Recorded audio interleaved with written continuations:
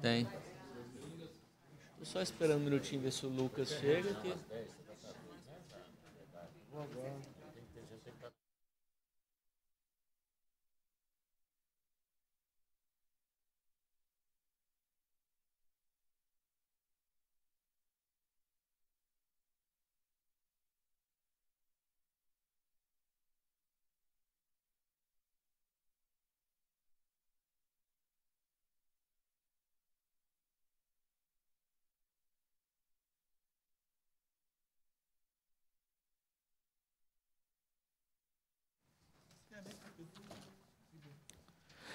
A número regimental declara aberta a 18ª reunião ordinária da Comissão de Constituição e Justiça da primeira sessão legislativa ordinária da vigésima legislatura.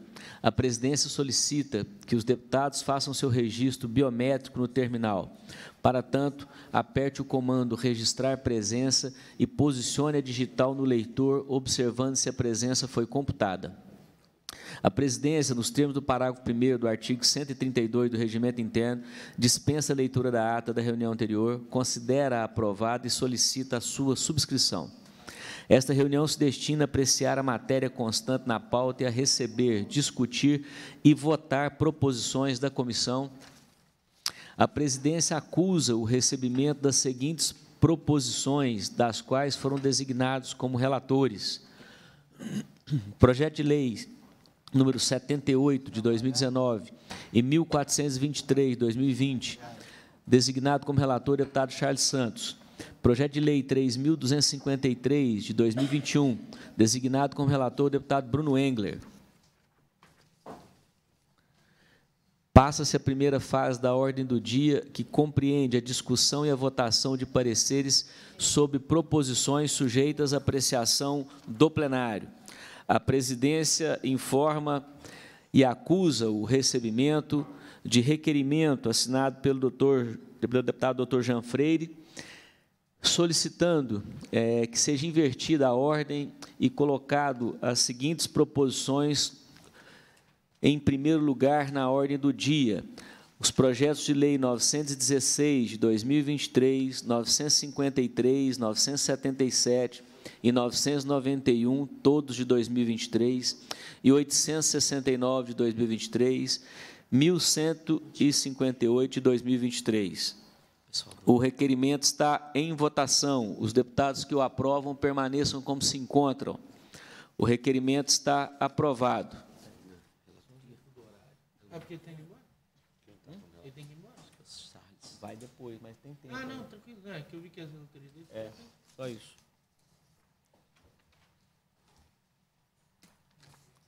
Qual que é o primeiro? Bom dia. Página 3. Quem que é o relator? Ele, bom dia. Ah, tá. Bom dia, Juliette. Tudo bom demais? Bom dia, Charles. Já anotaram? Deixa eu passar esse e eu anoto todos. Projeto de Lei 916 de 2023, primeiro turno, dispõe sobre a realização de ecocardiograma fetal em gestantes nas unidades hospitalares do Estado e da outras providências, de autoria da deputada Beatriz Cerqueira, relatoria do deputado Dr. Jean Freire, a quem o indago está em condição da emissão do parecer. Sim, senhor presidente. Com a palavra, deputado Dr. Jean Freire.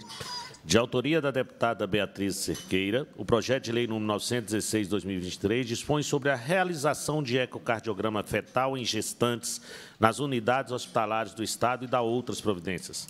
Cabe agora a essa comissão, em exame preliminar, apreciar os aspectos jurídico, constitucional legal da matéria, conforme dispõe o artigo 102, inciso 3 a linha A do citado regimento. A proposição em análise dispõe em seu artigo 1 que os hospitais da rede pública estadual e os conveniados com o Sistema Único de Saúde, SUS, incluirão no protocolo de assistência às gestantes a realização de ecocardiograma fetal no pré-natal e de pelo menos dois exames de ultrassonografia transvaginal durante o primeiro quadrimestre de gestação. Acabou esses aqui, eu volto. Bom dia, Lucas. Você tá bom, Lucas? É preciso ressaltar que o projeto tem o escopo de reforçar o acesso da mulher gestante a exames que passam a detectar precocemente a existência de cardiopatias congênitas. Verifica-se, portanto, que a medida pretendida na proposição exame dispõe sobre a ação administrativa que já se encontra prevista em lei federal e que passou a integrar protocolo de assistência a gestantes em todo o país nas unidades de assistência do SUS.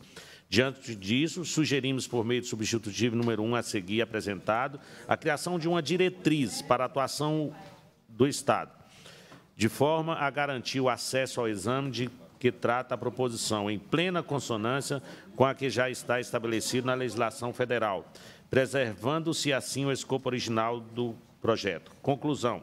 Em face do exposto, concluímos pela juridicidade, constitucionalidade e legalidade do projeto de lei 916-2023, na forma substitutivo número 1, a seguir apresentado. Substitutivo número 1. Apresenta a linha, a linha ao inciso 1 do artigo 3 da Lei número 22.422, de 19 de dezembro de 2016, que estabelece objetivos e diretrizes para a adoção de medidas de atenção à saúde materna e infantil do Estado. A Assembleia Legislativa do Estado de Minas Gerais decreta. Artigo 1. Fica acrescentado ao inciso 1 do artigo 3 na Lei número 22.422, de 19 de dezembro de 2016, as seguintes, a linha 1. Artigo 3 garantia de investigação e do acesso ao exame necessário para a detecção de cardiopatias congênitas, conforme diretrizes estabelecidas pelo protocolo de assistência a gestantes no âmbito do SUS. Artigo 2 A lei entra em vigor na data de sua publicação. Esse é o parecer, senhor presidente, já aproveitando e parabenizando a deputada Beatriz por esse projeto de lei. O parecer está em discussão. Não havendo discussão, o parecer está em votação. Os deputados que o aprovam permaneçam como se encontram. O parecer está aprovado. Projeto de Lei 953 de 2023, primeiro turno, reconhece como de relevante interesse cultural do Estado o evento Carnaval de Oliveira, de autoria do deputado Lucas Lasmar, relatoria do deputado Dr. Jean Freire, a quem o indago está em condição da emissão do parecer. Sim, senhor presidente. Com a palavra, deputado Dr. Jean Freire. De autoria do deputado Lucas Lasmar, o projeto de lei número 953 de 2023 reconhece como de relevante interesse cultural do Estado o evento Carnaval de Oliveira. A proposição exame dispõe o seu artigo 1 que fica reconhecido como de relevante interesse cultural do Estado nos termos da Lei número 24.219, de 15 de julho de 2022, o evento Carnaval de Oliveira. Em sua justificação, o autor lembra que o município de Oliveira realiza todos os anos um dos mais tradicionais carnavais do estado de Minas Gerais, reconhecido nacionalmente como uma das festas mais procuradas, não só pelo público mineiro, mas por todos aqueles que buscam aproveitar a festa em uma cidade que valoriza a cultura local.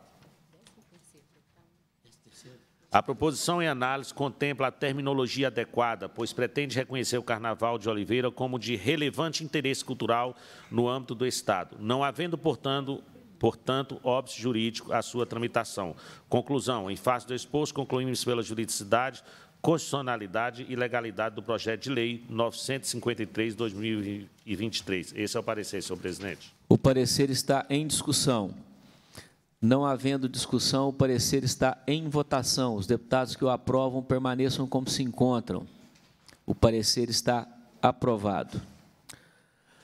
Projeto de Lei 977-2023, primeiro turno, confere ao município de Janaúba o título de Cidade do Sol, de autoria do deputado Cristiano Silveira, relatoria do deputado Dr. Jean Freire, a quem o indago está em condição da emissão do parecer. Sim, senhor presidente. Com a palavra, deputado doutor Jean Freire. De autoria do deputado Cristiano Silveira, o projeto de lei em epígrafe confere ao município de Janaúba o título de Cidade do Sol.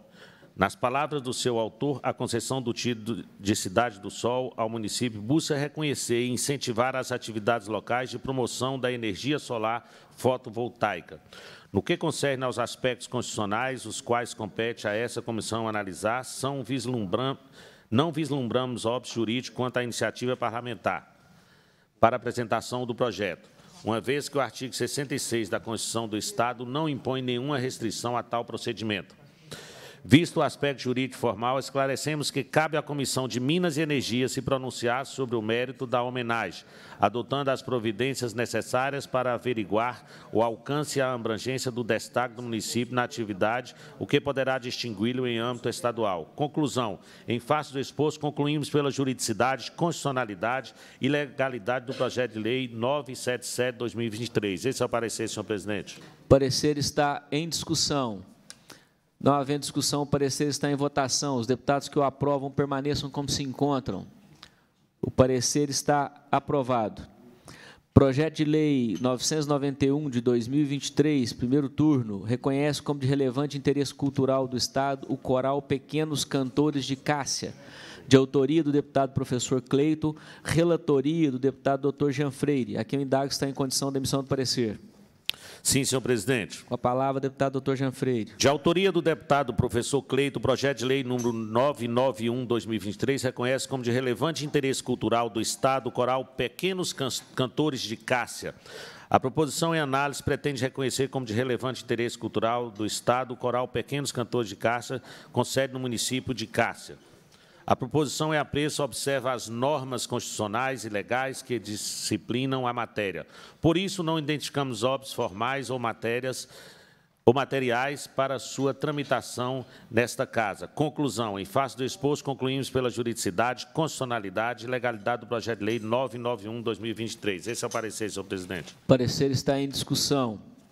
Não havendo discussão, o parecer está em votação. Os deputados que o aprovam permaneçam como se encontram. O parecer está aprovado. Projeto de lei mil... Projeto de lei 869 de 2023, primeiro turno, reconhece como de relevante interesse cultural do Estado a Pedra Branca, localizada em Itamaraty de Minas, de autoria do deputado Dr. Jean Freire, relatoria do deputado Lucas Lasmar, a quem o indago está em condição da emissão do parecer. É 869.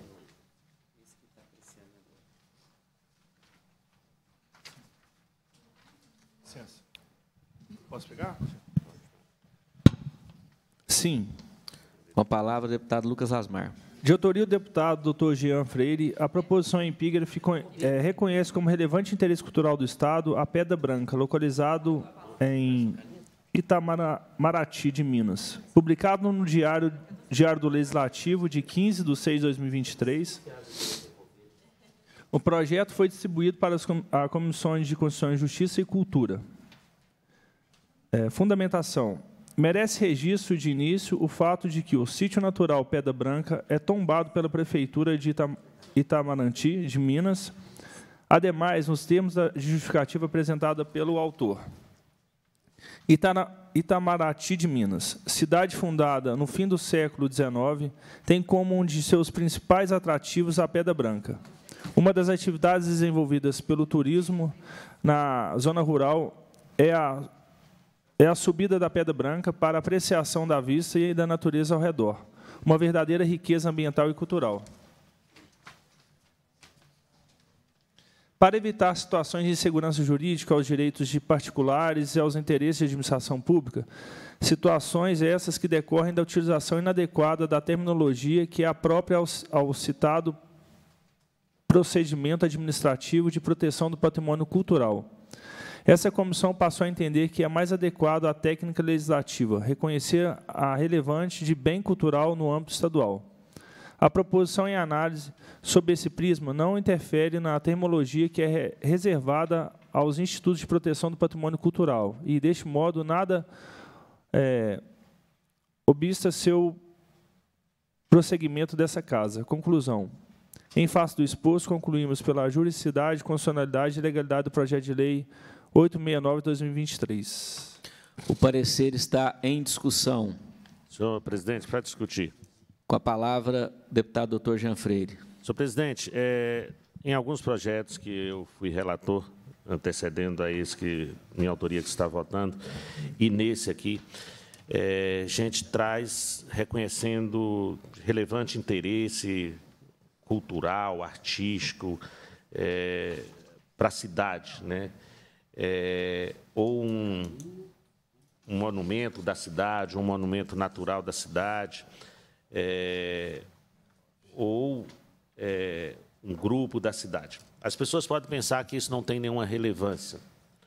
Tem relevância porque isso muitas cidades têm o seu nome a partir de um monumento natural.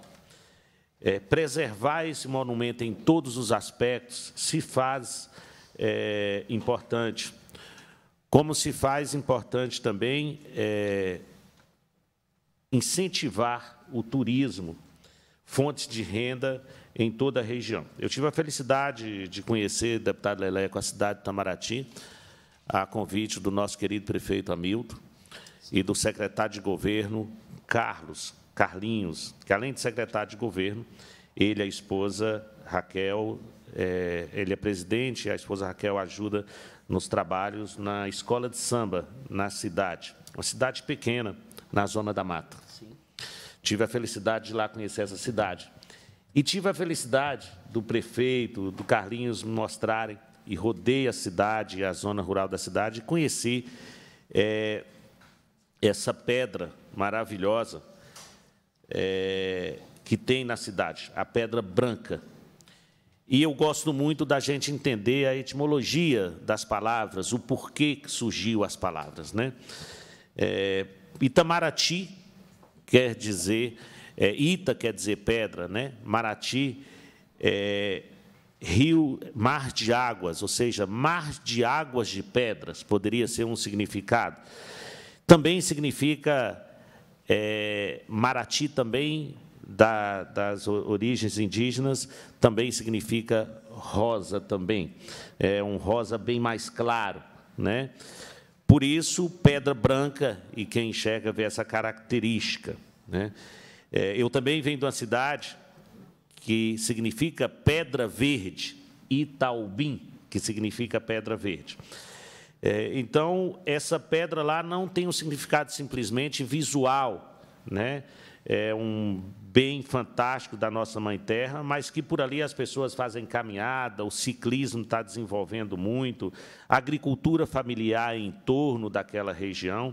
Então, eu quero agradecer é, ao prefeito, a Milton, ao Carlinhos, a Raquel, porque foi através deles, e outro dia, senhor presidente, me perguntaram aqui, o jornal me perguntou, é, eu nem sabia o número de projetos que nós tínhamos apresentado nessa casa, e eles discutindo sobre essa questão. Basicamente, a gente tinha apresentado um projeto por dia. E por quê? Como surgia isso? E é porque a gente visita um local e as pessoas dão ideias. Então, não é só da cabeça do deputado que sai isso. Tem certeza de Vossas Excelências também. A pessoa dá uma ideia. Olha, doutor Jean, não é interessante isso aqui? A gente vê uma rodovia em tal situação, não é interessante ter uma balança nessa rodovia? Por isso, a gente tem projetos aí nessa linha. Então, muito obrigado, meu querido amigo Carlinhos, Raquel, ao nosso querido prefeito, que faz uma gestão maravilhosa aí, Itamaraty. Então, eu peço aí aos companheiros para que a gente possa dar andamento a esse projeto. Gratidão. O parecer está em votação. Os deputados que o aprovam permaneçam como se encontram. O parecer está aprovado. Projeto de Lei 1158, 2023, primeiro turno, reconhece como de relevante interesse cultural do Estado a Festa da Manga, realizada no município de Taubim, de autoria do deputado Dr. Jean Freire, e designo como relator o deputado Lucas Lasmar, a quem eu indago se está em condição da emissão do parecer. Sim. Com a palavra, deputado Lucas Lasmar. Parecer do primeiro turno, projeto de lei 1158-2023. De autoria do deputado Dr. Jean Freire, o projeto de lei 1158-2023 reconhece como de relevante interesse cultural do Estado a Festa da Manga, realizada no município de Itaubim. A proposição em análise pretende reconhecer como de relevante interesse cultural do Estado a Festa da Manga, realizada no município de Itaiobim. Sob o prisma jurídico, a Constituição da República, em seu artigo 216, determina que constitui patrimônio cultural brasileiro os bens de natureza material e imaterial, tomados individualmente ou em conjunto, portadores de referência à identidade, à ação, à memória dos diferentes grupos formados na sociedade brasileira. O mesmo artigo 216 da Carta, da Carta Federal estabelece, em seu parágrafo 1 que o poder público, com a colaboração da comunidade, promoverá e protegerá o patrimônio cultural brasileiro, por meio de inventários, registros, vigilância, tombamento e desapropriação e de outras formas eh, para preservação.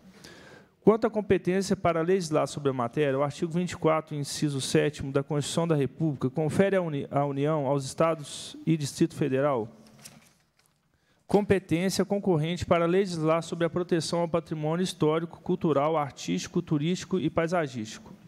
Por fim, cabe lembrar que o Estado de Minas Gerais vigora a Lei 24.219, de 15 de julho de 2022, que institui o título de relevante interesse cultural do Estado e altera a Lei nº 11.726, de 30 de dezembro de 94, que dispõe sobre a política cultural do Estado de Minas Gerais. De acordo com o artigo 1 da citada norma e o artigo 3º-B da Lei 11.726, de 94, o relevante interesse cultural é um título que, concedido pelo Poder Legislativo mediante lei específica, visa valorizar, promover e difundir bens, manifestações e expressões de cultura mineira. Com a aprovação da citada Lei 24.219 de 2022, as proposições que promovem reconhecimento de, como patrimônio histórico, artístico ou cultural do Estado precisam ser atualizadas em relação à nova forma em vigor. Para tanto, apresentamos o substitutivo número 1, ao final desse parecer. Conclusão. Em face do exposto, concluímos pela juridicidade, constitucionalidade e legalidade do projeto de lei 1158-2023 na forma do substitutivo número 1. A seguir, redigido. Substitutivo número 1. Reconhece como de relevante interesse cultural do Estado a Festa da Manga, realizada no município de Itaiobi. Assembleia Legislativa do Estado de Minas Gerais decreta. Artigo 1 Fica reconhecido como de relevante interesse cultural do Estado a Festa da Manga, realizada no município de Itaiobi. Artigo 2 O reconhecimento de que trata essa lei, é, conforme disposto ao artigo 2 da Lei 24.219 de 2022, tem por objetivo valorizar bens, expressões e manifestações culturais dos diferentes grupos formados na sociedade mineira. Artigo 3 Essa lei entra em vigor na data de sua publicação. Parecer está em discussão. Senhor presidente, para discutir. Com a palavra, deputado doutor Jean Freire. Não poderia deixar de discutir um projeto de minha autoria que diz respeito à Pedra Verde, a Itaubim, a nossa querida Itaubim, minha cidade, onde eu moro. Senhor presidente, a Festa da Manga, é, que já acontece há alguns anos na nossa querida Itaubim, não é simplesmente um momento de festividade musicais, de apresentação de bandas, né? Isso iniciou porque nós temos, sem sombra de dúvida, uma das mangas mais deliciosas desse país, manga nativa, né? na região, a manga espada nativa na região, e incentivou vários produtores, vários agricultores familiares, vários produtores a cultivar a manga. Né? E, nesse momento, a gente tem concurso de rainha da manga, princesa da manga, da comida, a criatividade da manga, da comida mais eh, saborosa feita de manga, e por e aí tem lasanha, tem vários eh, eh, comidas, pratos típicos, né, que tem a manga como seu principal produto. Né? Quem anda por Itaubim, quem vai em Itaubim, eh, sabe do que estou falando. Passando na BR-116, vários agricultores familiares têm ali as suas barraquinhas que vendem manga. Eh, estamos chegando nesse período aí. Na casa dos meus pais, tem, sempre as casas têm um pé de manga. Eh, doces, sucos, é, tanta coisa gostosa que produz. Então, é uma maneira da gente incentivar o cultivo para gerar emprego e renda, para fazer uma cadeia produtiva.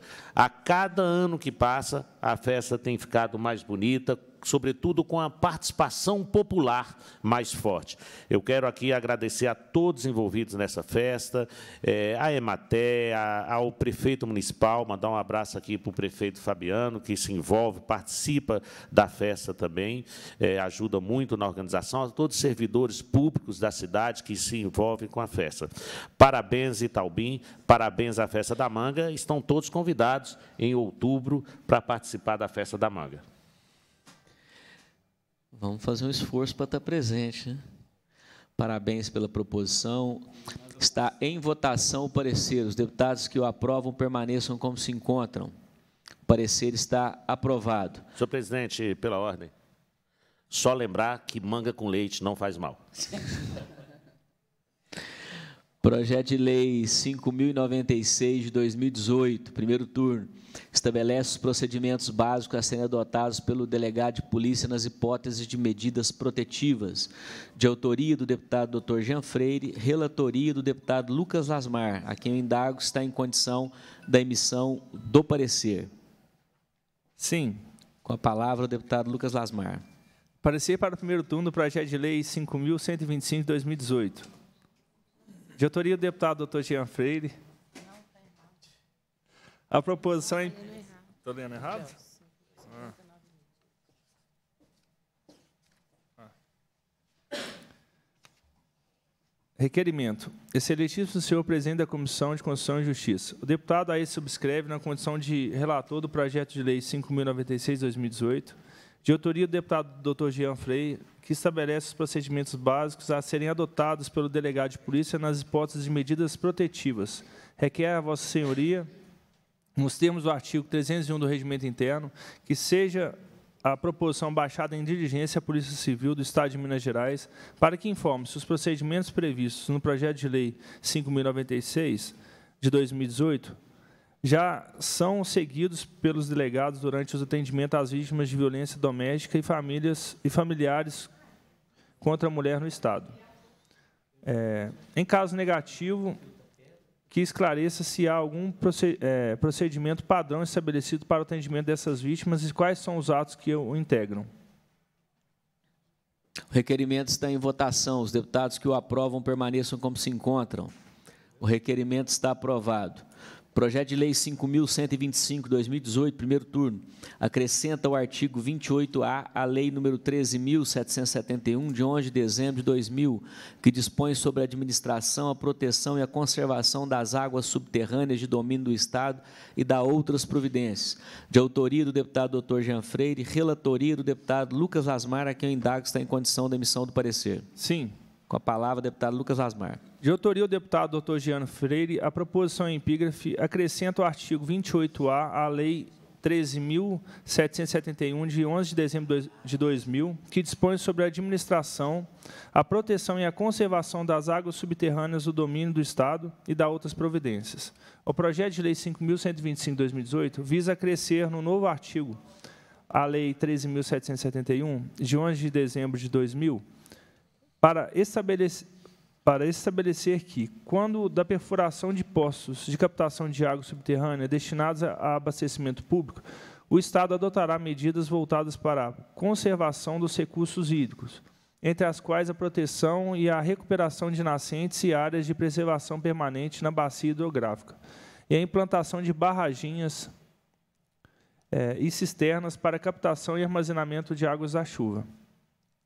À luz do disposto do artigo 65 e 66 da Constituição do Estado, em princípio, não vislumbramos óbice a iniciativa parlamentar em análise, em exame, desculpa.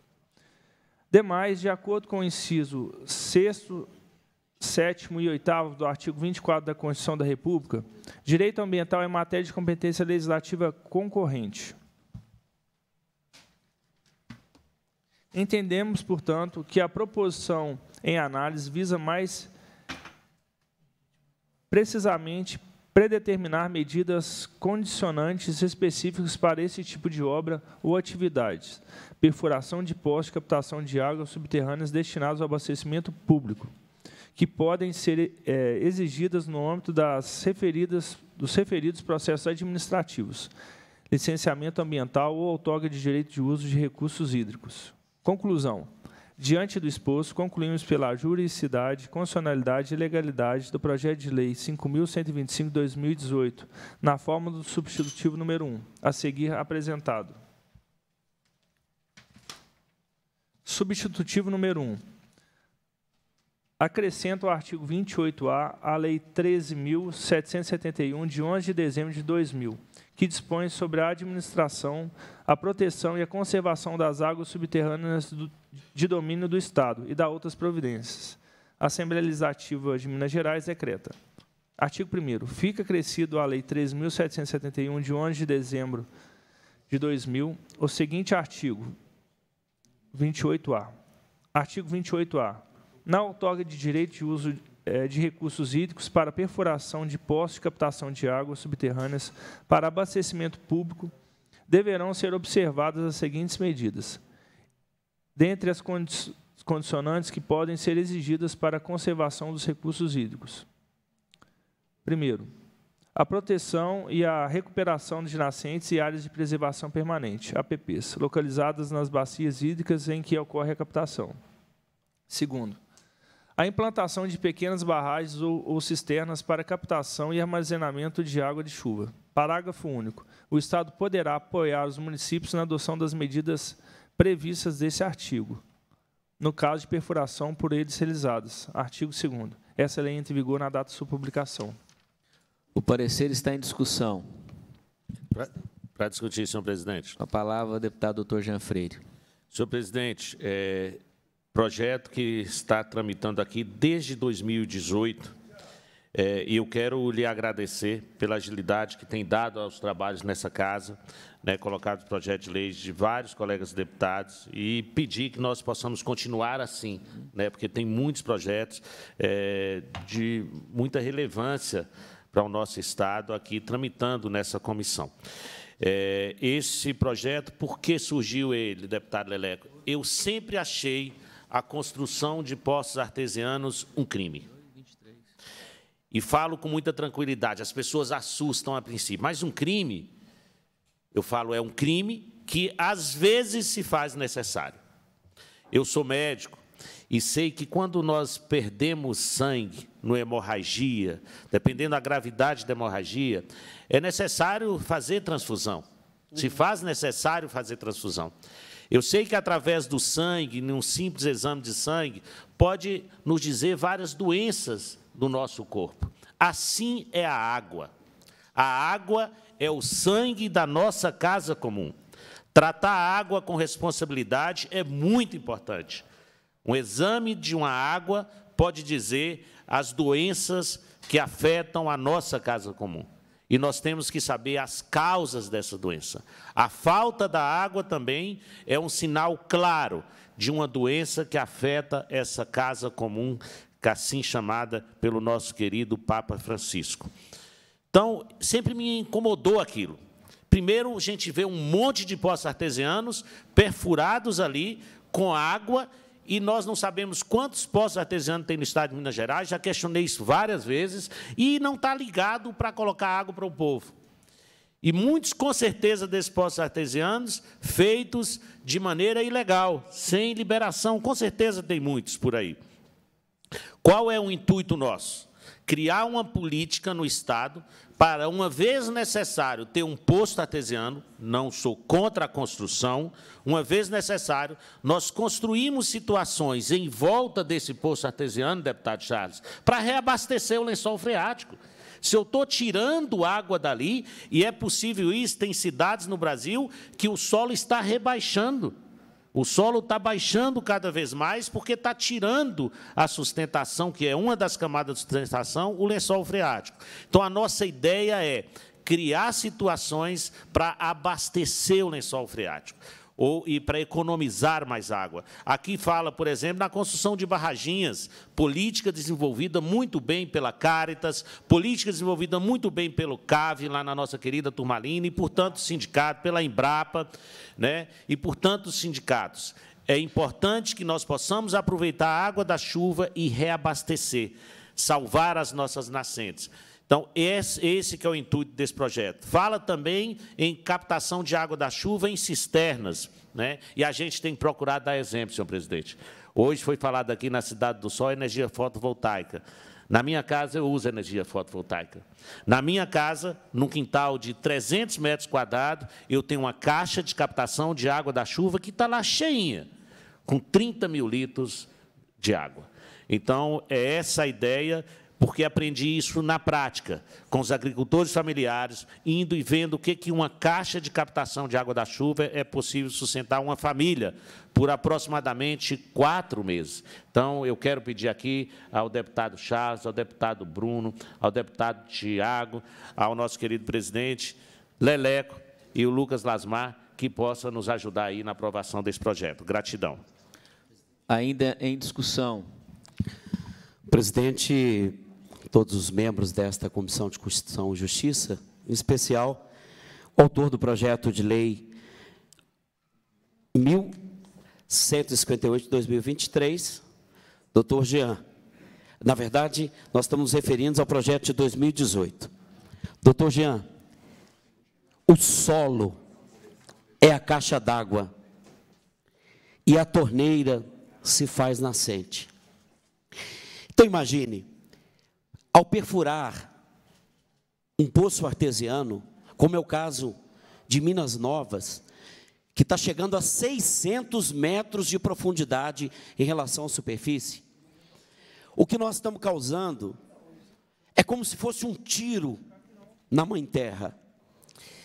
E esta política de perfuração de poços é um crime porque quando você perfura um poço de água a 600 metros para poder arrefecer, por exemplo, o carvão, você está tirando o direito das comunidades de terem acesso à água.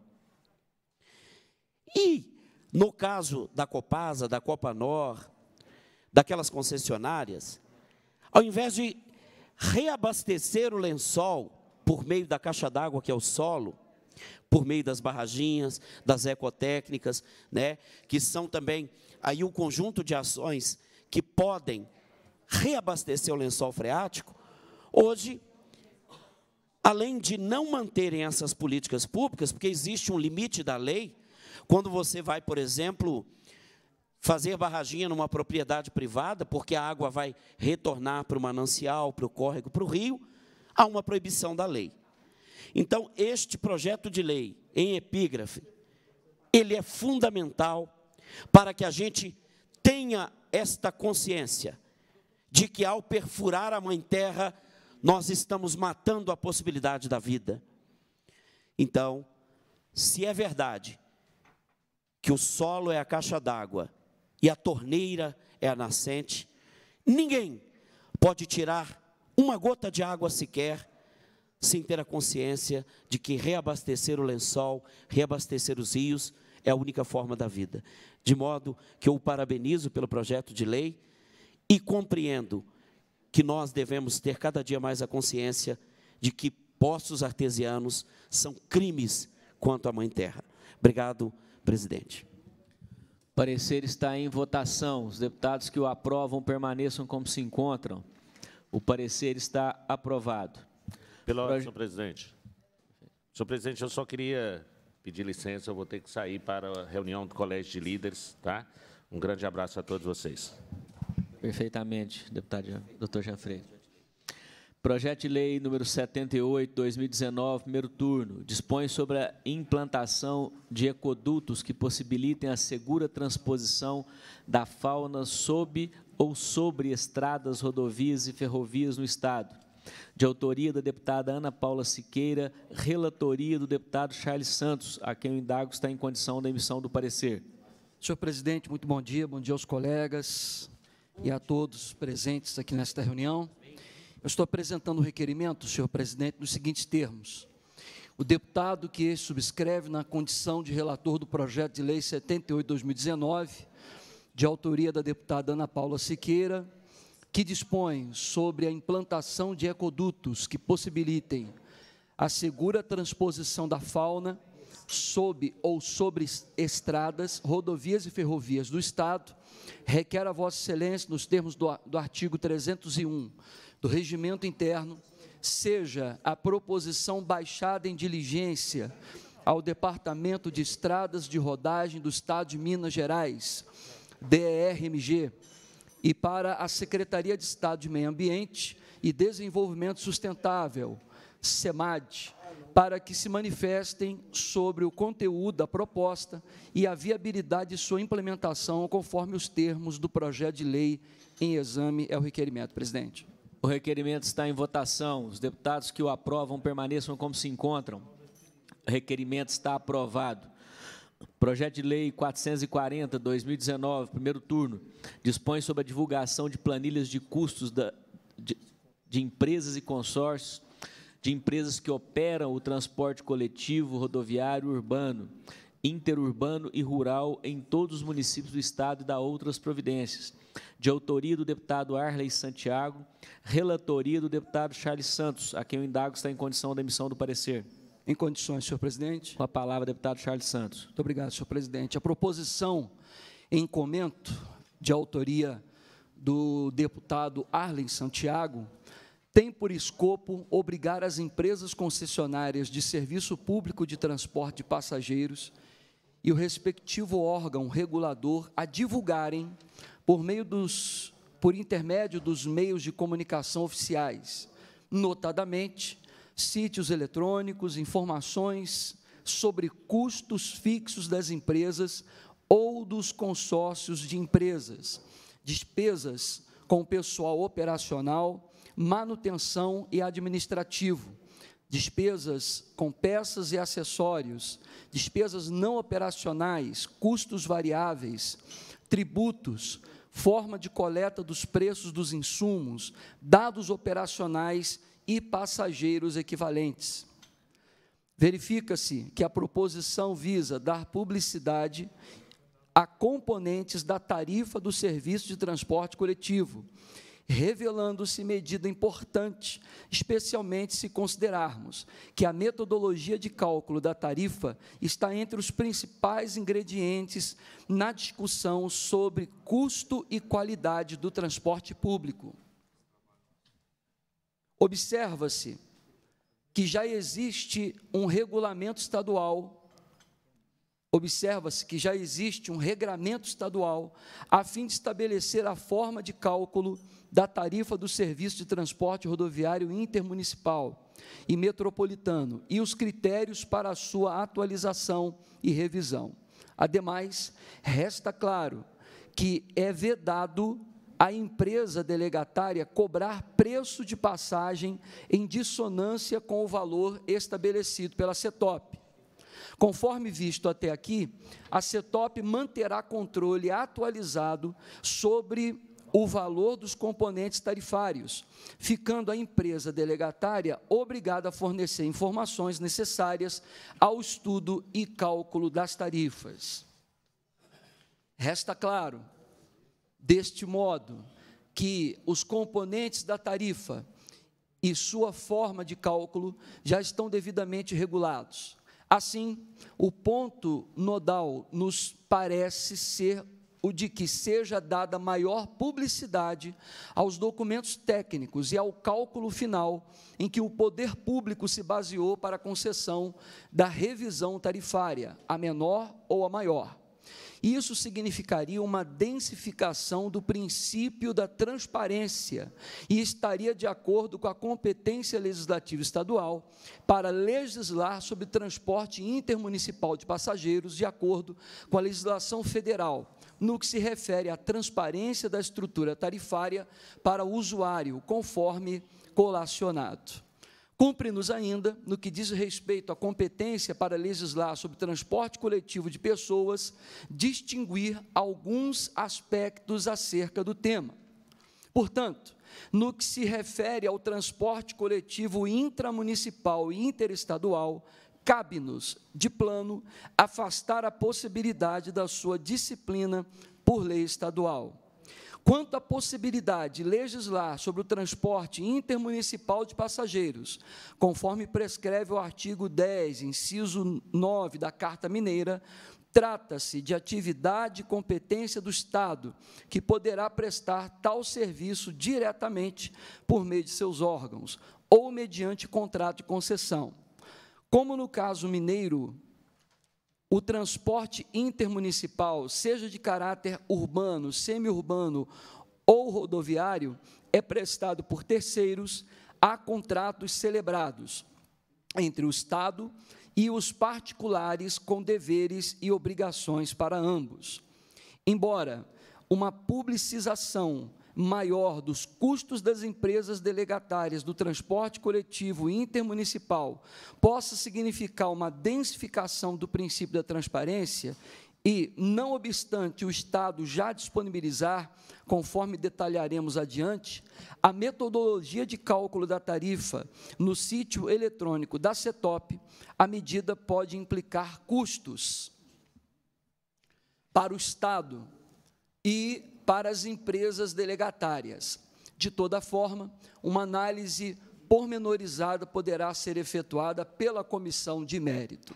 Finalmente, senhor presidente, nobres colegas, com o objetivo de, de adequar o texto à técnica legislativa e a fim de afastar eventual vício quanto à divulgação de informações que possam violar o direito fundamental à intimidade e à privacidade, apresentamos o substitutivo número 1.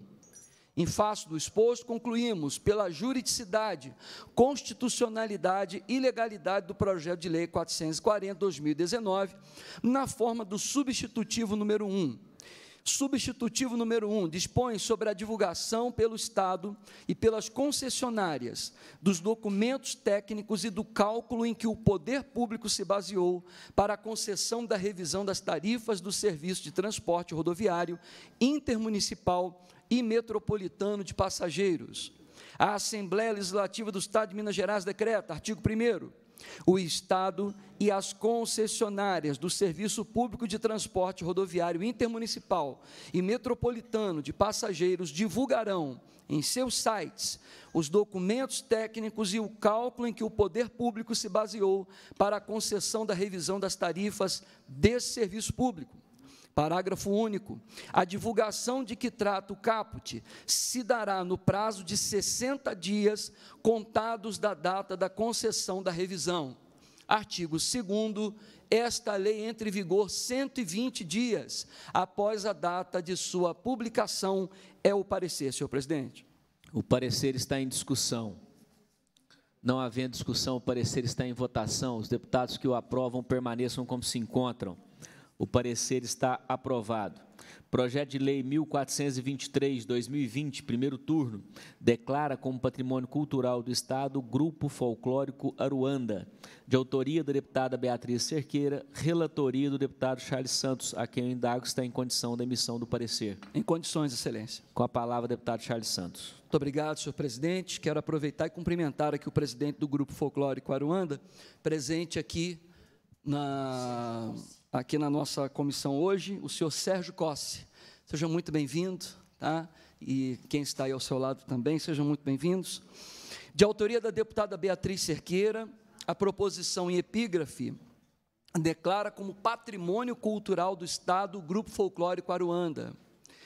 De acordo com a justificativa apresentada pela autora, o Grupo Folclórico Aruanda é um dos maiores representantes da cultura parafolclórica do Brasil o grupo foi fundado em 1960 e se dedica à pesquisa, preservação e divulgação das danças e cantos folclóricos nacionais.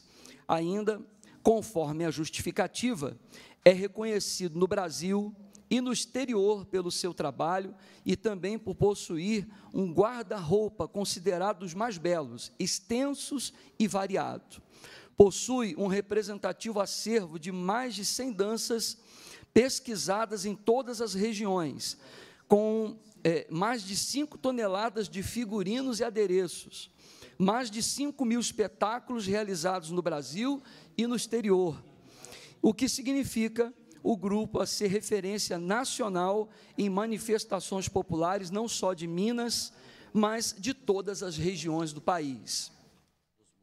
Pois bem, o projeto em apreço, em seus termos originais, não se amolda ao consenso formado nesta comissão, em outros órgãos deste parlamento, sobre os limites jurídicos da atuação do Poder Legislativo para a proteção do patrimônio cultural. Nesse sentido, o mais adequado é a observação ou a observância do disposto na Lei 24.219, de 15 de julho de 2022, que dispõe sobre o título de relevante interesse cultural do Estado.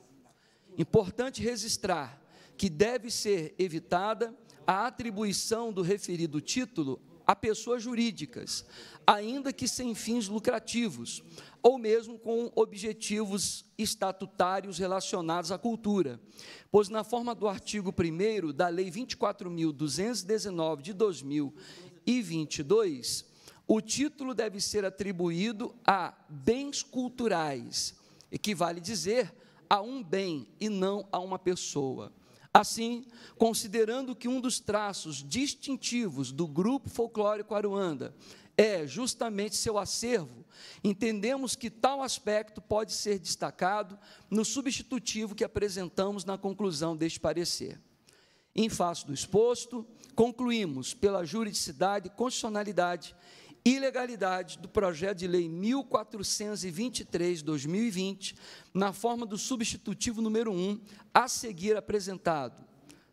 Substitutivo número 1 reconhece como de relevante interesse cultural do Estado o acervo do Grupo Folclórico Aruanda, com sede no município de Belo Horizonte. A Assembleia Legislativa do Estado de Minas Gerais decreta Artigo 1.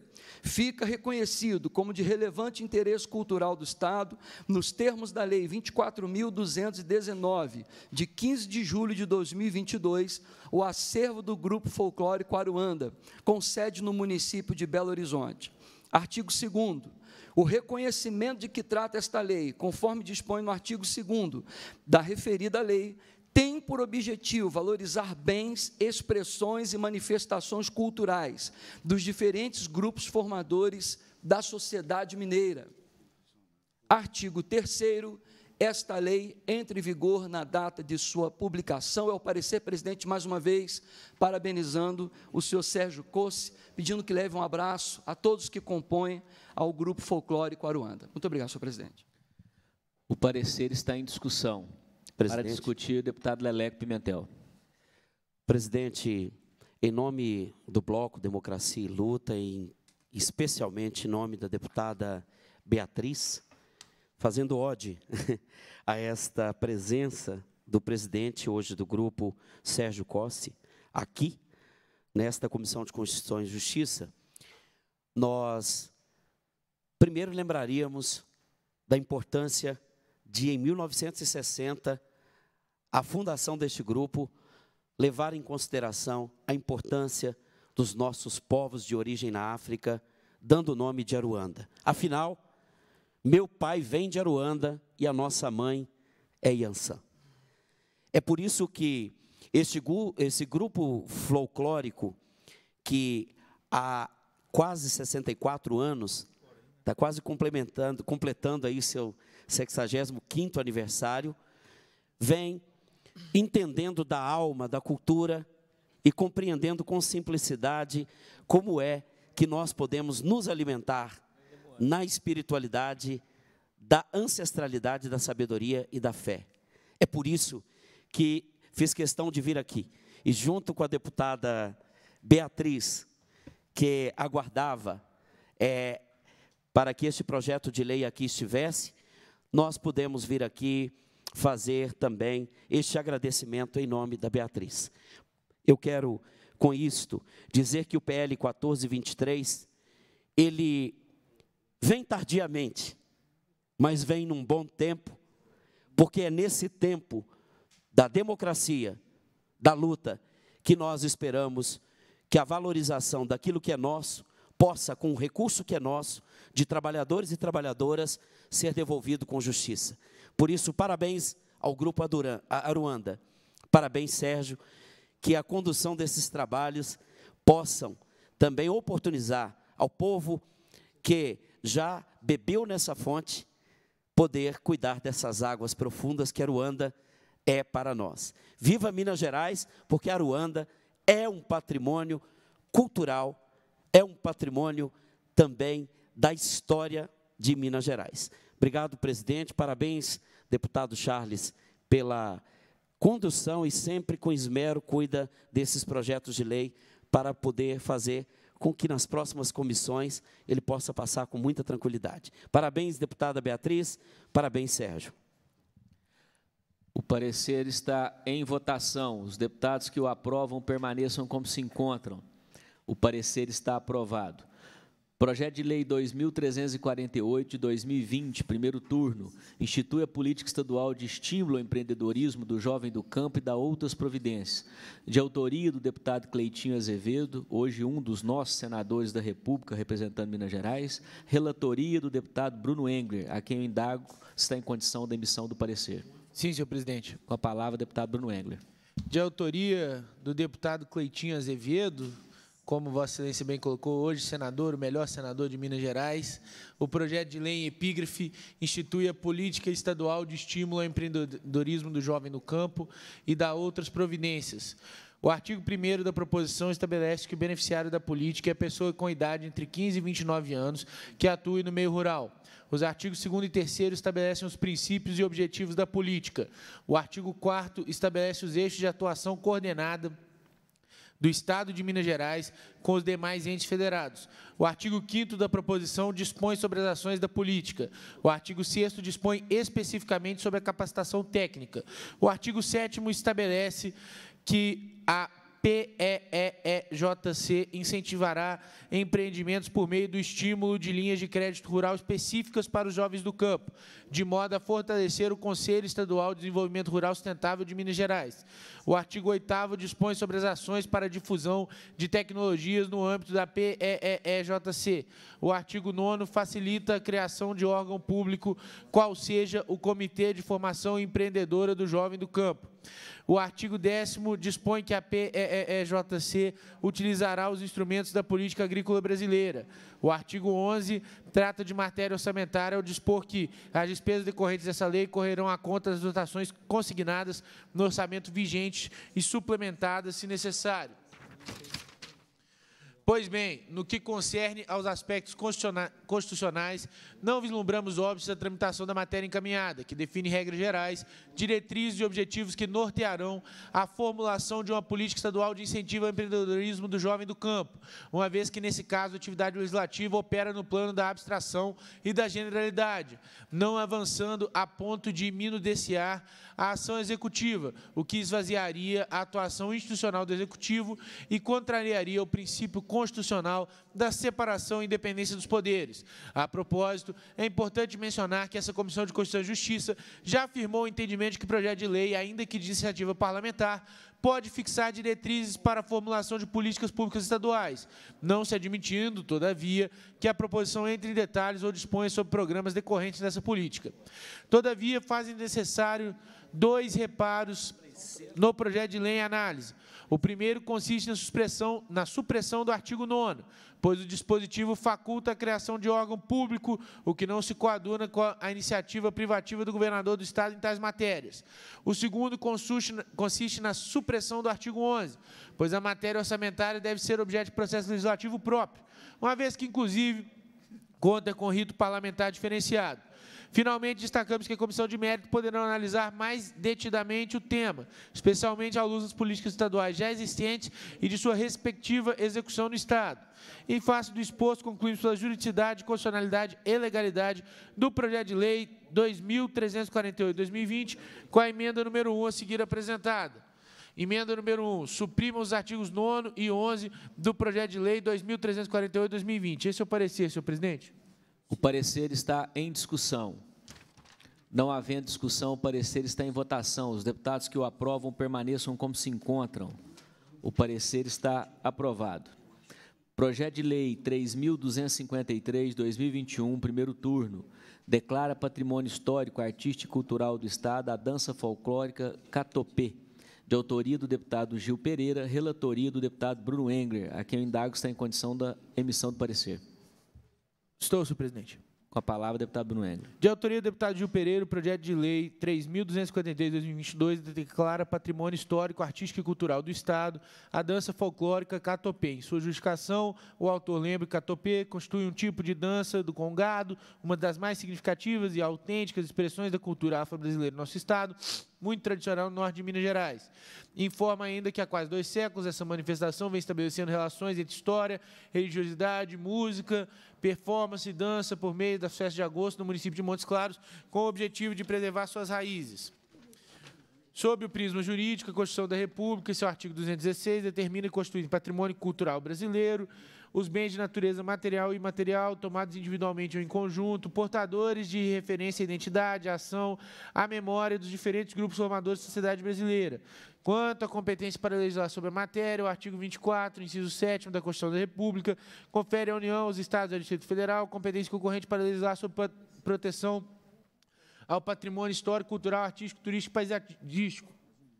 Por fim, cabe lembrar que em Minas Gerais vigora a Lei 24.219, de 15 de julho de 2022, que institui o título de relevante interesse cultural do Estado e altera a Lei 11.726, de 30 de dezembro de 94, que dispõe sobre a política cultural do Estado de Minas Gerais, de acordo com o artigo 1 da citada norma e do artigo 3º-B da Lei 11.726, de 94, o relevante interesse cultural é um título que, concedido pelo Poder Legislativo, mediante lei específica, visa valorizar, promover e difundir bens, manifestações e expressões da cultura mineira.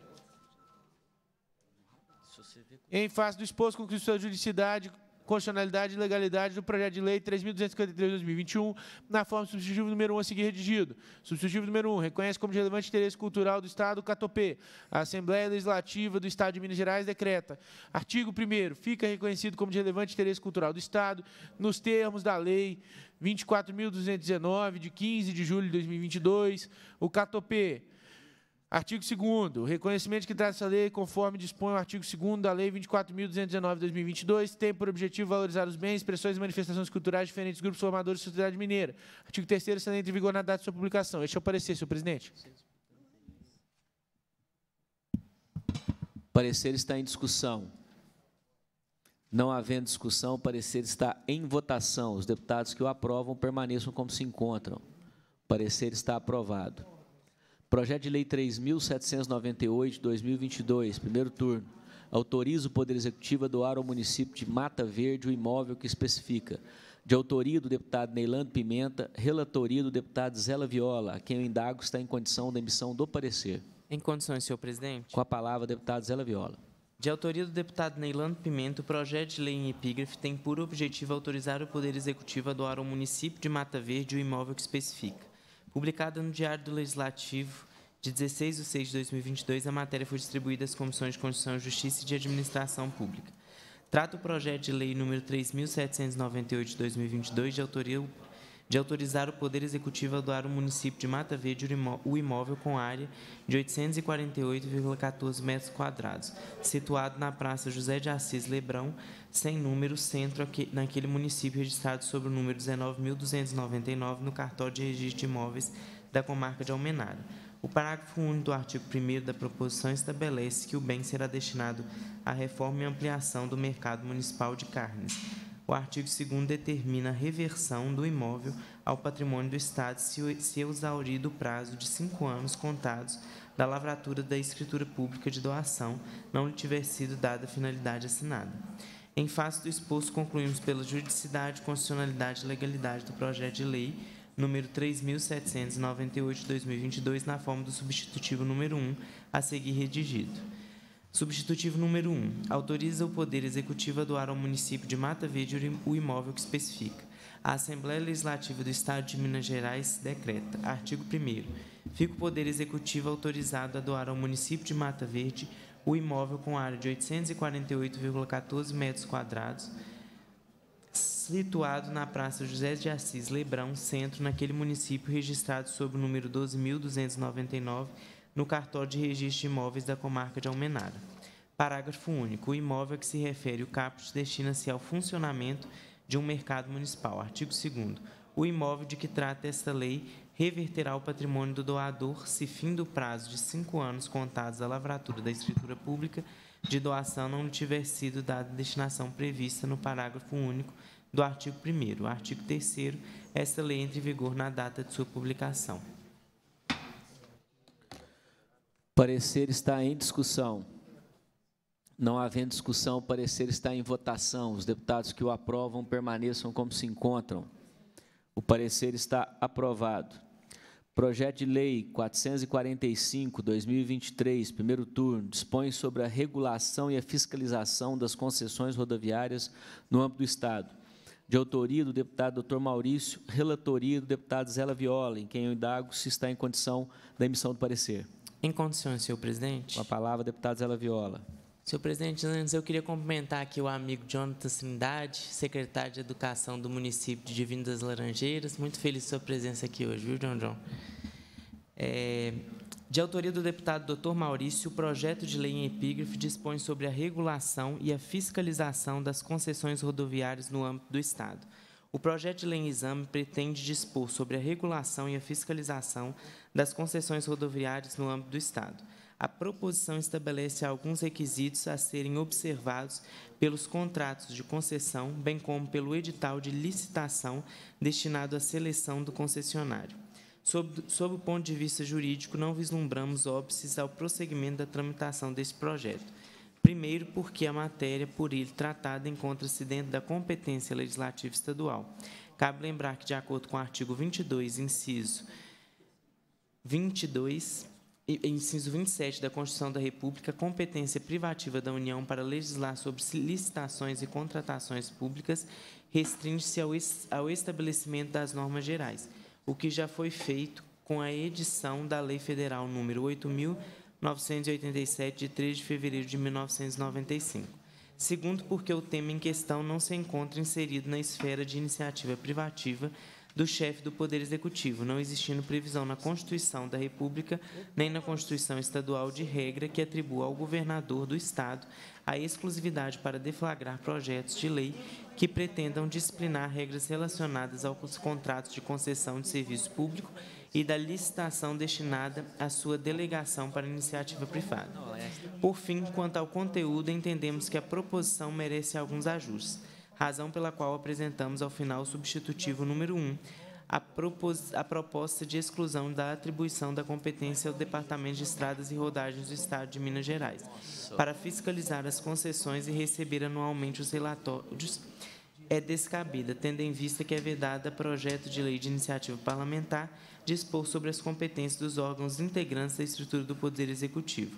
Como já existe lei estadual que disciplina a concessão dos serviços rodoviários, o substitutivo propõe que a matéria não seja tratada em uma nova lei autônoma, mas que seja inserida em norma já existente, qual seja a Lei nº 12.219, de 1 de julho de 1996. Pelo aduzido, concluímos pela juridicidade, constitucionalidade e legalidade do projeto de lei número 445 de 2023, na forma do substitutivo número 1 a seguir apresentado. Substitutivo número 1. Acrescenta os artigos 9b, 9c, 9d, 9e e 9f à Lei nº 12.219, de 1 de julho de 1996, que autoriza o Poder Executivo a delegar, por meio de concessão ou permissão, os serviços públicos que menciona e dá outras providências. A Assembleia Legislativa do Estado de Minas Gerais decreta, artigo 1 ficam acrescentados à Lei nº 12.219, de 1 de julho de 1996, os seguintes artigos 9b, 9c, 9d, 9e e 9f. Artigo 9b.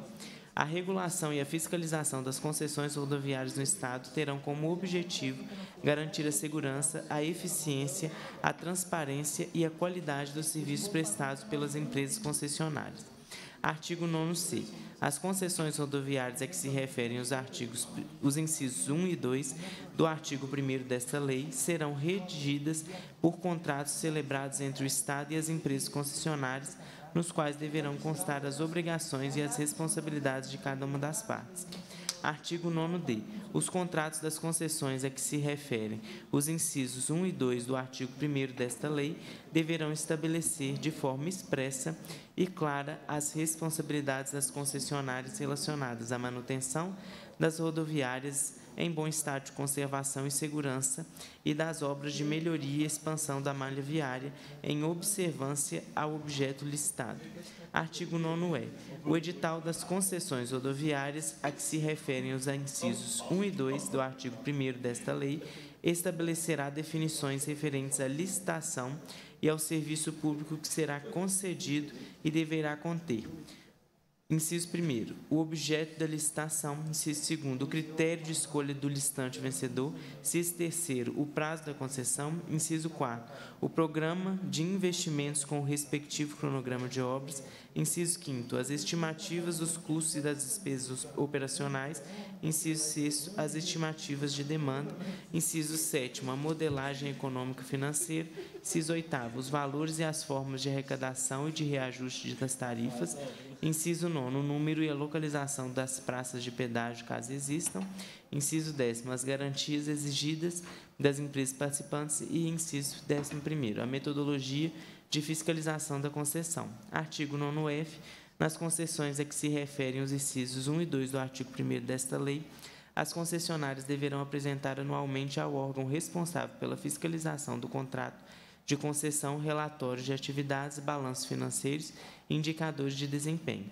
Artigo 2 esta lei entra em vigor na data de sua publicação. O parecer está em discussão. Não havendo discussão, o parecer está em votação. Os deputados que aprovam permaneçam como se encontram. O parecer está aprovado. Projeto de Lei 542-2023, primeiro turno, dispõe sobre a desafetação da rodovia que especifica e autoriza o Poder Executivo a doar a área correspondente ao município de Coronel Pacheco, de autoria do deputado Zé Guilherme, relatoria do deputado Zé Viola, a quem o indago está em condição de emissão do parecer. É meu. Sim, senhor presidente. Com a palavra, deputado Zé Viola. Eu apresento requerimento de para que a proposição seja baixada em diligência ao autor e à Secretaria de Estado de Governo. O requerimento está em votação. Os deputados que o aprovam permaneçam como se encontram. O requerimento está aprovado. Projeto de Lei 670-2023, primeiro turno, reconhece como de relevante interesse cultural a tradição skatista na cidade de Uberlândia, de autoria da deputada Bela Gonçalves, relatoria do deputado Charles Santos, a quem o indago está em condição de emissão do parecer. Em condições, excelência. Com a palavra, deputado Charles Santos. Muito obrigado, senhor presidente. A proposição em análise pretende reconhecer como de relevante interesse cultural do Estado a tradição skatista de Uberlândia, Quanto à competência para legislar sobre a matéria, o artigo 24, inciso 7 da Constituição da República confere à União, aos Estados e ao Distrito Federal competência concorrente para legislar sobre a proteção ao patrimônio histórico, cultural, artístico, turístico e paisagístico. Com efeito, foi editada em 2022 a Lei 24.219, que institui o título de relevante interesse cultural do Estado e altera a Lei 11.726, de 30 de dezembro de 1994, que dispõe sobre a política cultural do Estado de Minas Gerais. Por fim, esclarecemos que não compete a esta comissão se pronunciar sobre o mérito da proposta, cabendo à Comissão de Cultura, a seguir, realizar tal exame como base nos elementos fáticos de que dispõe. Em face do exposto, concluímos pela juridicidade, constitucionalidade e legalidade do projeto de lei 670 de 2023 na forma apresentada. É o parecer, presidente. O parecer está em discussão. Não havendo discussão, o parecer está em votação. Os deputados que o aprovam permaneçam como se encontram. Parecer está aprovado. Projeto de Lei 703, 2023, primeiro turno, autoriza o Poder Executivo a doar ao município de Carmópolis de Minas o imóvel que especifica. De autoria do deputado Cássio Soares, relatoria do deputado Zé Viola, a quem o indago está em condição da emissão do parecer. Senhor presidente, eu apresento requerimento para que a proposição seja baixada em diligência à Secretaria de Estado de Governo e ao Instituto Estadual de Florestas. O requerimento está em votação. Os deputados que o aprovam permaneçam como se encontram. O requerimento está aprovado. Projeto de Lei 781-2023, primeiro turno, institui a campanha de incentivo à instalação de fossas sépticas biodigestoras nas áreas rurais no âmbito do Estado e da outras providências. De autoria dos deputados delegado Cristiano Xavier e deputado Antônio Carlos Arantes, relatoria do deputado Bruno Engler, a quem o indago está em condição da emissão do parecer. Com a palavra, o deputado Bruno Engler.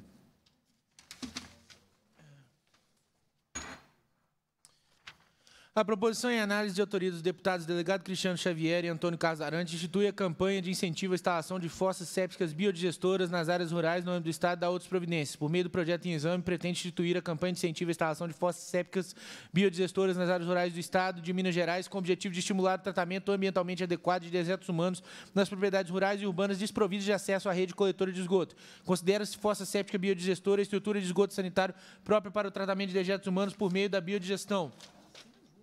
Inicialmente, não vislumbramos óbvio iniciativa parlamentar em exame que se fundamenta no artigo 65 da Constituição do Estado, salvo no que se refere à atribuição expressa de competência de determinado órgão do Poder Executivo, que dependeria de iniciativa do governador do Estado, conforme artigo 66, alíneas E e F da mesma Constituição. Entende-se, no entanto, que a elaboração e execução de campanha, plano, programa administrativo são atividades inseridas no rol de atribuições do Poder Executivo detentor da competência constitucional para realizar tais ações. Nesse sentido, verifica-se que a proposição trata de matéria de cunho essencialmente administrativo, revelando-se o seu disciplinamento por meio de lei inadmissível do ponto de vista constitucional, pois a autoridade a qual a norma se dirige já se encontra revestida de competência para a prática de atos dessa natureza.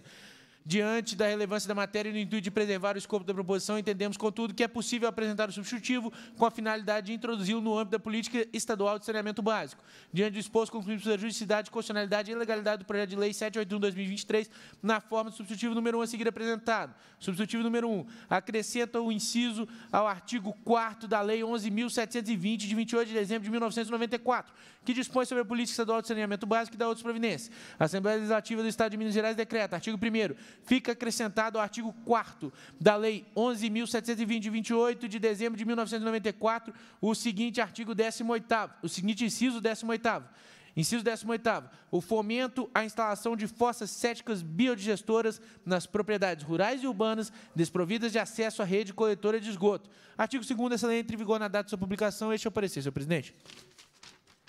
Parecer está em discussão. Não havendo discussão, o parecer está em votação. Os deputados que o aprovam permaneçam como se encontram. O parecer está aprovado. Projeto de Lei 835, 2023, primeiro turno, autoriza o Poder Executivo a doar ao município de Cajuri o imóvel que especifica. De autoria do deputado Roberto Andrade, relatoria do deputado Tiago Cota, a quem o indago está em condição da emissão do parecer. Em condições, presidente. Com a palavra, o deputado Tiago Cota. Requerimento, baixaremos o requerimento, excelentíssimo senhor, presidente da Comissão de Constituição e Justiça, o deputado que subscreve, na condição de relator do projeto de lei 835 de 23, de autoria do deputado Roberto Andrade, que autoriza o Poder Executivo a doar ao município de Cajuri o imóvel que especifica, requer a vossa excelência, nos termos do artigo 301 do regimento interno, seja a proposição baixada em diligência. Primeiro, a Prefeitura de Cajuri, para que declare sua aquecência ao negócio jurídico que se pretende efetivar. Segundo a Secretaria de Estado de Governo, para que informe esta Assembleia sobre a situação efetiva do imóvel e se há algum óbice à transferência do domínio pleiteada. Esse o requerimento é está em votação. Os deputados que o aprovam permaneçam como se encontram. O requerimento está aprovado. Projeto de Lei 978-2023, primeiro turno, dispõe sobre a desafetação do trecho de rodovia que especifica e autoriza o Poder Executivo a doar ao município de Glaucilândia a área correspondente. De autoria do deputado Gil Pereira, relatoria do deputado Zé Viola, a quem o indago está em condição de emissão ou oh, perdão. Vamos cancelar aqui, porque tendo em vista que nós tivemos uma inversão de pauta, eu estou pulando o projeto de lei 972, da qual vou fazer a chamada agora. Desculpe aos membros da comissão. Projeto de Lei 972-2023, primeiro turno, dispõe sobre a implantação de unidades do Centro de Referência sobre Drogas, CRD, no Estado. De autoria da deputada Chiara Biondini, relatoria do deputado Charles Santos, a quem o indago está em condição da emissão do parecer. Senhor presidente, eu quero apresentar aqui um requerimento para que a proposta seja encaminhada à Secretaria de Estado de Saúde para prestar informações acerca do conteúdo do projeto de lei 972/2023, em especial se as medidas nele contidas são passíveis de implementação no âmbito desta secretaria. O requerimento está em votação. Os deputados que o aprovam permaneçam como se encontram. O requerimento está aprovado. Agora sim, projeto de lei 978/2023, primeiro turno, dispõe sobre a desafetação do trecho de rodovia que especifica e autoriza o Poder Executivo a doar ao município de Glaucilândia a área correspondente. De autoria do deputado Gil Pereira, relatoria do deputado Zela Viola, que eu indago está em condição da emissão do parecer. Senhor presidente, eu apresento requerimento para que a proposição seja baixada em diligência à Secretaria de Estado de Governo. O requerimento está em votação. Os deputados que o aprovam permaneçam como se encontram. O requerimento está aprovado. Passa-se a segunda fase da ordem do dia, que compreende a discussão e a votação de proposições que dispensam apreciação do plenário. Lembrando aos nobres deputados que compõem a comissão que nós faremos a chamada em bloco por relator. Vamos iniciar chamando os projetos de relatoria do deputado Bruno Engler. Projeto de Lei 4039 de 2022, turno único, declara de utilidade pública a Associação Comunitária do Riachinho, com sede no município de Montes Claros, de autoria do deputado Gil Pereira. Projeto de Lei 535, 2023, turno único, declara de utilidade pública o Instituto Ágape, Vida e Cidadania, com sede no município de Tabira, de autoria da deputada Chiara Biondini e projeto de lei 806, turno único, 806 2023, turno único, declara de utilidade pública o 120 MG Grupo Escoteiro Bravos da Serra, com sede no município de Nova Serrana, de autoria do deputado Fábio Avelar. Com a palavra, o deputado Bruno Engler. Senhor presidente, em relação aos projetos 4039 de 2022, de autoria do deputado Gil Pereira, e 535 de 2023, de autoria da deputada Chiara Biondini, eu opino pela constitucionalidade, juridicidade e legalidade da proposição. Em relação ao projeto 806 de 2023, de autoria do deputado Fábio Avelar, eu apresento requerimento de diligência ao autor. Em relação aos pareceres, os pareceres estão em discussão. Não havendo discussão, os pareceres estão em votação. Os deputados que o aprovam permaneçam como se encontram. Os pareceres estão aprovados. Em relação ao requerimento, está em votação. Os deputados que o aprovam permaneçam como se encontram. Requerimento aprovado.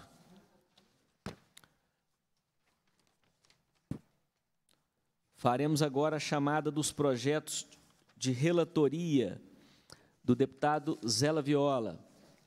Projeto de Lei 208, 2023, turno único, declara de utilidade pública o Centro de Educação Infantil Nosso Lar Júlio de Carvalho, com sede no município de Frutal. Opa, como é da minha relatoria, eu tenho que passar a relatoria, tenho que passar. Perdão, vamos cancelar a chamada. Tendo em vista que há projeto de minha autoria, eu passo a palavra ao nosso vice-presidente, deputado Bruno Engler, por favor.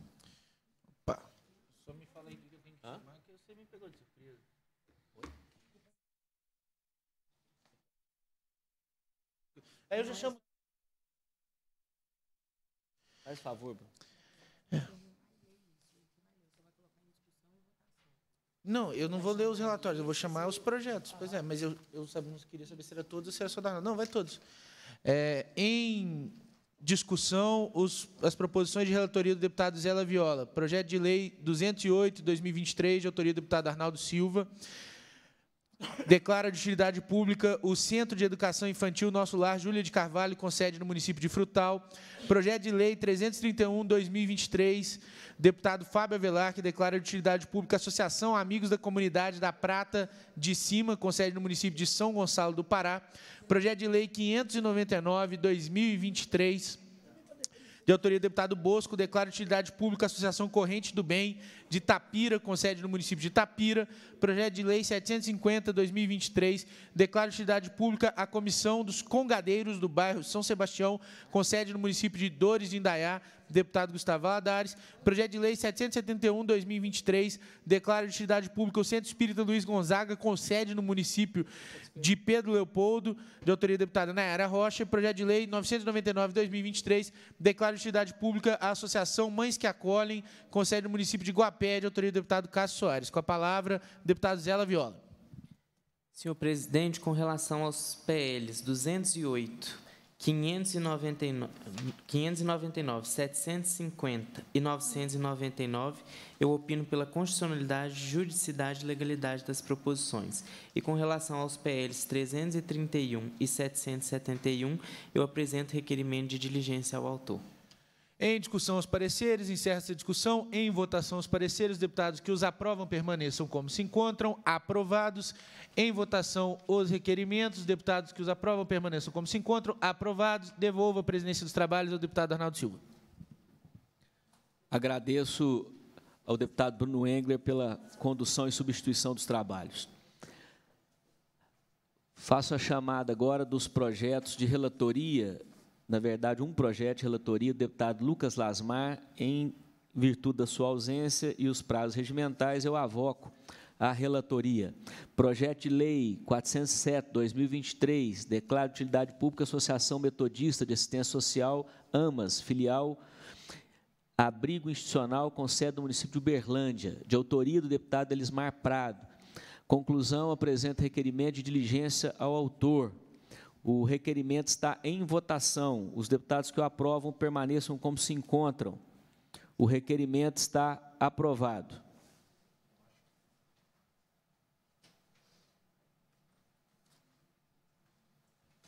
Faço a chamada agora dos projetos de relatoria do deputado Tiago Cota. Projeto de Lei 422, 2023, turno único, dá denominação ao trevo que especifica, de autoria do deputado Eduardo Azevedo.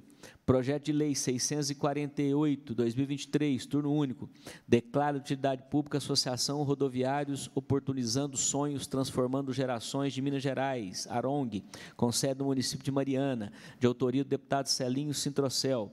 Projeto de Lei 653, 2023, turno único, declara utilidade pública o Paranóicos do Asfalto, MC, com sede no município de Campos Gerais, de autoria do deputado Cássio Soares. Projeto de Lei 921, 2023, turno único, declara utilidade pública Associação de Apoio ao Cidadão de Joanésia e Região, com sede no município de Joanésia, de autoria do deputado Dorgal Andrada. Projeto de Lei 1001, 2023, turno único, declara utilidade pública a entidade Meninos do Bem e da Bola, com sede no município de Uberlândia, de autoria do deputado Leonídio Bolsas. Com a palavra, o deputado Tiago Cota. Presidente, proposição PL 422 de 2023, PL 921 de 2023. Eu opino, como conclusão, opino pela constitucionalidade, juridicidade e legalidade da proposição. PL 648 de 2023, PL 653 de 2023 e PL 1001 de 2023, apresento requerimento de diligência ao autor. Os pareceres estão em discussão. Não havendo discussão, os pareceres estão em votação. Os deputados que o aprovam permaneçam como se encontram. Os pareceres estão aprovados.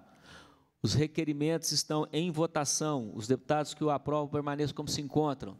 Os requerimentos estão aprovados. Faço agora a chamada dos projetos de relatoria do deputado Jean. Jean Freire, tendo em vista a sua ausência e os prazos regimentais, avoco a relatoria.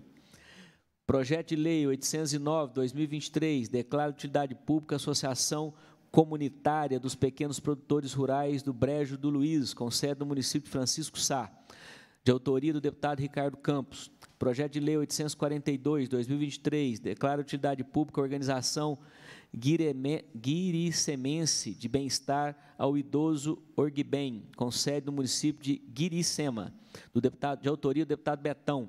Projeto de Lei 903, 2023, declara de utilidade pública a Associação dos Agricultores Familiares da região de Fervedouro, com sede no município de Fervedouro, de autoria do deputado Marquinho Lemos. Em todos os projetos, parecer, os pareceres opinam pela constitucionalidade, juridicidade e legalidade das proposições. Os pareceres estão em discussão. Não havendo discussão, os pareceres estão em votação. Os deputados que os aprovam permaneçam como se encontram. Os pareceres estão aprovados.